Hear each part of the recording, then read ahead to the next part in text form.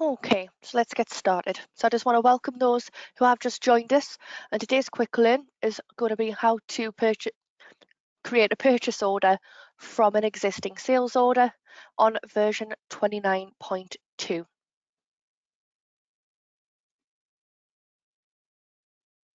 So this is the agenda for today. So we're going to start by introducing the session and the benefits of generating purchase orders from sales orders.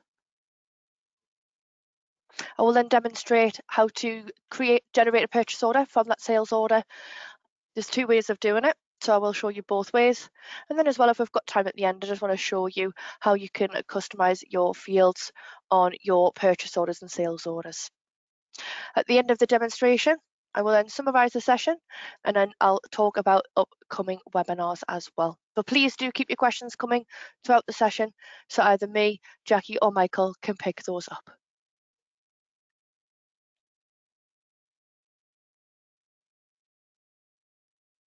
So starting with this, this feature, so creating purchase orders from sales orders. So this feature was highly requested on Sage City by many of Sage 50 accounts users. So I will show you how you can submit your ideas towards the end of the session. So automating the process of generating purchase orders from sales orders can save time and reduce manual data entry errors. This streamlines the procurement process and helps users work more efficiently. So it reduces human error in quantity and pricing. It improves relationships with suppliers. And it enhances customer satisfaction by filling, fulfilling orders promptly. Please note, this option is only available on professional, and that's a professional variant of the software, and you've got to be on version 29.2. If you do not see this option that I am demonstrating today, it's either going to be you're not going to be on the right variant, so you might be on standard or essentials. It could be that you're not on version 29.2 and you could be on version just version 29.0 or below. Or it could be down to your level of access. So that may need, be, may need to be upgraded by the manager user. But what I'm going to do now is I'm going to pop straight over to my software and we'll have a look at this option in action.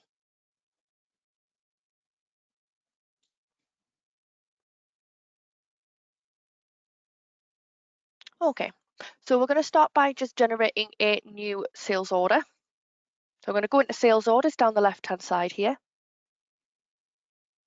And I'm going to go into new. So in here, we're going to select a customer. I'm just going to go for A1 Design Services.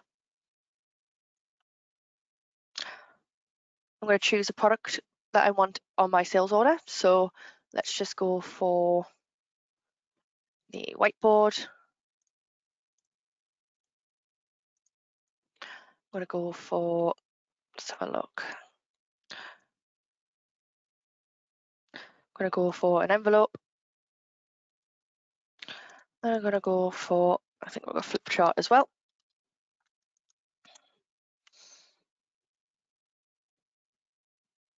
Okay, so I'm just going to leave my quantity as, as one for each of those items.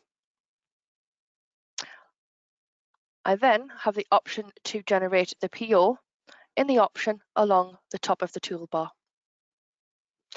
So if I click on generate PO, it's going to ask me if I want to save the sales order. So I'm just going to click yes. And then you get this new window. So create a purchase order from your sales order. So as you can see, it's got the product codes listed down the side with your description, it's got your quantity in stock, so you can see what you've already currently got. So at the minute, my whiteboard, I've got five in stock, and I've got five free, so not allocated to anything. And what this, we've got this blue icon here, this information. So this means that I've actually got a sufficient amount of stock to actually fulfill the sales order. So I don't necessarily need to place a purchase order for that item. So what I can do is if I don't want to include it in the purchase order order, I can just untick it and that will then not create a purchase order for that item. If we scroll along as well, we've got some more columns here. So as you can see here, you've got the reorder level, the reorder quantity, the sum of sales orders, the quantity to order. You can amend this if you want to order more than what is on the sales order. But please be aware, the um, information that is on here, so what is quantity of one, this will only generate what is actually on the purchase order and not necessarily what your reorder quantity is. So you can see the reorder quantity for these items is 2, 40 and 20, but it's actually only ordering what is on the sales order. So, but you can, like you say, you can change that if you wanted to. So if you wanted to change that to five, you could change that to five. You've also got the cost price. You've also got the suppliers as well. So you can actually change these suppliers in here. If we scroll a little bit further. You've also got the PO delivery address as well. So if you click on this drop down, you've got the option for your company address, your supplier address, and now also as well, you've got the option if a delivery address was added to the sales order, it can then be sent directly to your customer. So you would select that if that's what you wanted, but you can choose company or supplier as well. You've also got the option to add in a PO due date if that's required, but this again, this is optional. You've also got the option to print the list or export. Now exporting, all that does is it pushes exactly that screen, like the table, into Excel for you. And you can save this if it needs to be. Before clicking to create the purchase order, in the bottom left, there's a tick box here. And what that means is that it's going to place the purchase order on order when you click create purchase order. But this does need to be ticked every time. So once you tick it once and click create purchase order, it doesn't apply it to every single one you do. You have to tick that every time. So if I click create purchase orders, it said there one purchase order has successfully been created. Products included purchase order have been removed from the list. So as you can see, because we unticked that one, we no longer need it. That's why that one still remains in the list. But it's created the purchase order for the other two. So if I click view or edit create purchase order, that's going to open that purchase order for me. So then again, you can come in here and make changes if needs be. But if you're happy, you can click save. Again, do you want to place an order now or later? I'm just going to put later. You can also view it as well. So if we close all of these out, close out of that. You can also view it from the purchase orders list as well. So you can see there, there's my purchase order in the list.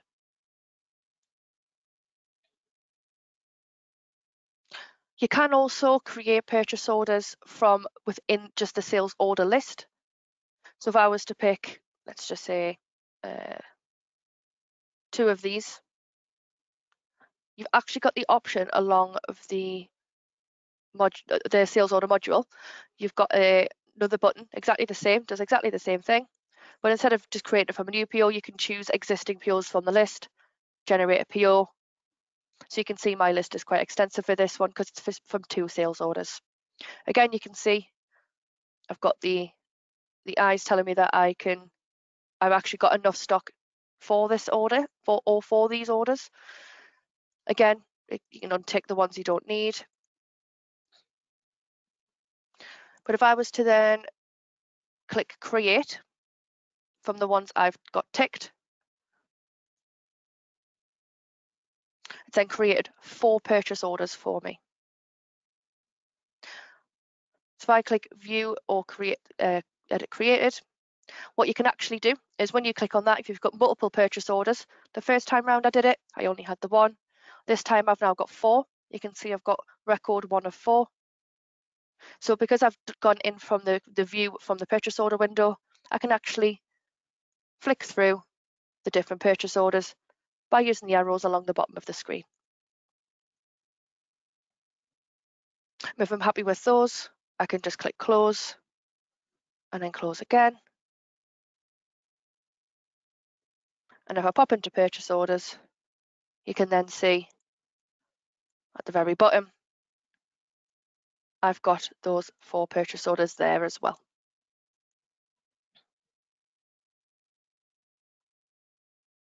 Another thing you can also add in to your purchase orders and sales orders, we've mentioned this a couple of times on various sessions, uh, for, especially for custom, custom fields. You can also do this as well. So I'll just show you how you can add custom fields and where they show. So you pop into settings along the top and then into configuration.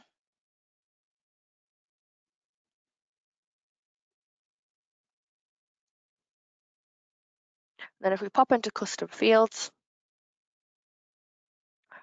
down the right hand side, you've got three custom fields or analysis fields that you can add to your sales orders or purchase orders, which can then be mapped to your layouts. So if I just change this to test, the same on purchases as well.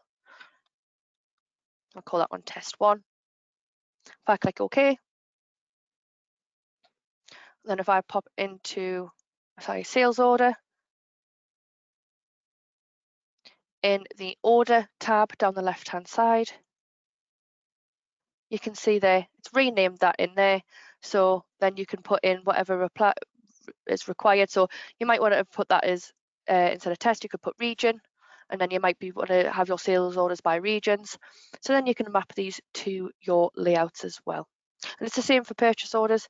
It's in the same place. So we pop into purchase orders. And then down to order down the left hand side. And then you can see there test one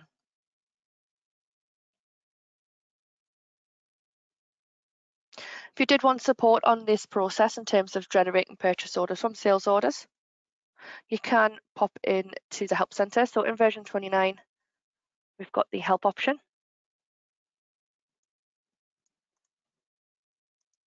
And what we can do is we can just, you can see it brings up relevant information here. Just type in here, generate purchase order from sales.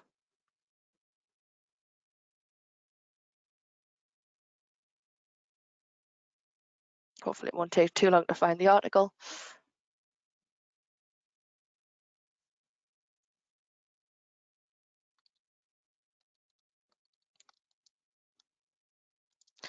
Just trying to find it in the help center. Bear with me, it's taking a little bit longer than expected. There we go. Okay, so if you type in generate purchase order from sales order, we've got an article there that gives you exactly the steps we followed today. It's even got screenshots as well and tells you all about how to use this feature.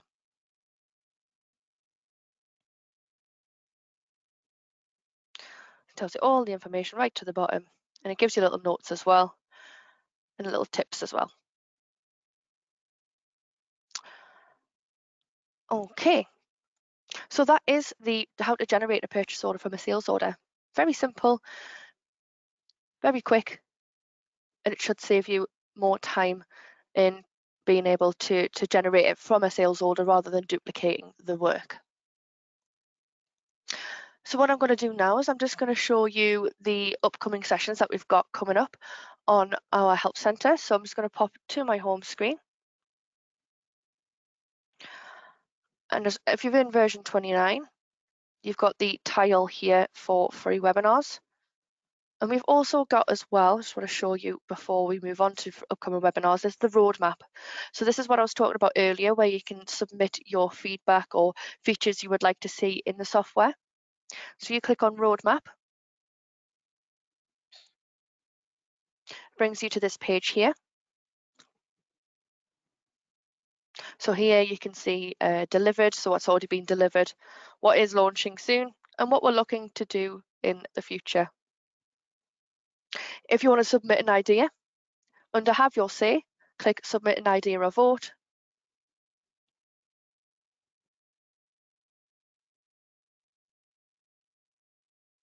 So as you can see here, you've got all the different ones that people have voted on. So you can see here, this one's got 274 votes.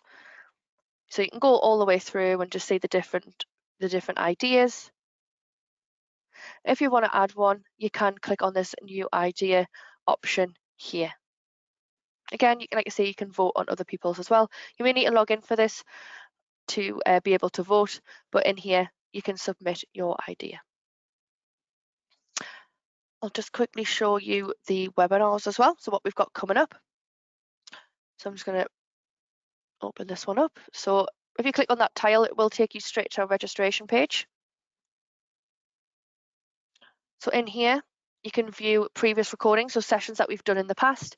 You can come back and revisit as many times as you'd like. So what we've got coming up over the next couple of weeks, so we are still doing the bank feeds in version 29.2. Tomorrow we've got customer corrections at 2 p.m. We're also doing management reports, so trial balance, profit and loss, and balance sheet. We've got clear audit trail, sales orders shortfall, correcting journals, departments and so forth. If you have checked our recordings page and you've also checked out the upcoming sessions, but you see a topic that you haven't yet seen, but you would like to see us cover, we have the option to suggest a new topic as well. So this is another way you can get your ideas across to us for topics you'd like to see us cover on the webinars.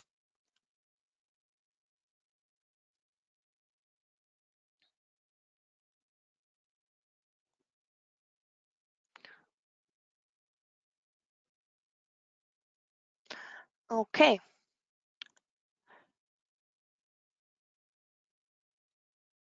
So that does bring us to the end of today's session. It has been a short one.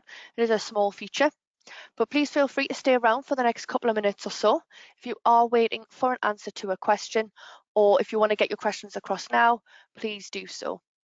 If you've got what you need today and you want to leave the session, you will receive an email in around an hour or so with links to both our webinar schedule and today's recorded session for you to refer back to if needs be. Upon exiting the session, you will see a survey at the end. If you could let us know any feedback on the session, you can pop a little comment in there. But what I'm going to do is I'm just going to pop myself on mute for a couple of minutes or so, just to see if there's any other questions that do come through. It has been quite a quiet one on the session. So please do pop them across and I'll be back with you shortly.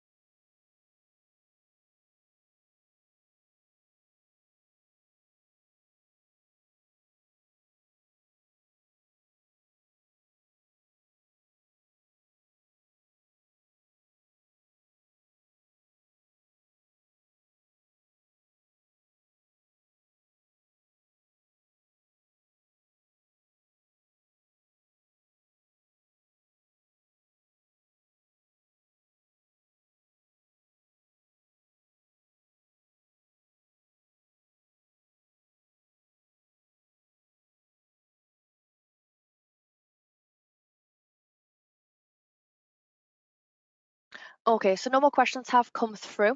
So I'm going to do is I'm just going to wrap this session up. I want to say thank you to Jackie and Michael who's been on hand today to answer your questions. And I want to say thank you to you all for your participation. And just a reminder, we have got plenty of sessions over the next couple of weeks, so don't be shy and get registered. So I want to say another thank you and take care.